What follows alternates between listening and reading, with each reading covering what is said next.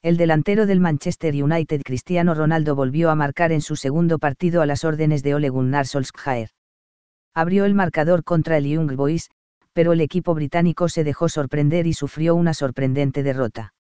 El equipo suizo es la 36 víctima de Cristiano Ronaldo en la Liga de Campeones, igualando a Leo Messi, que también tiene 36.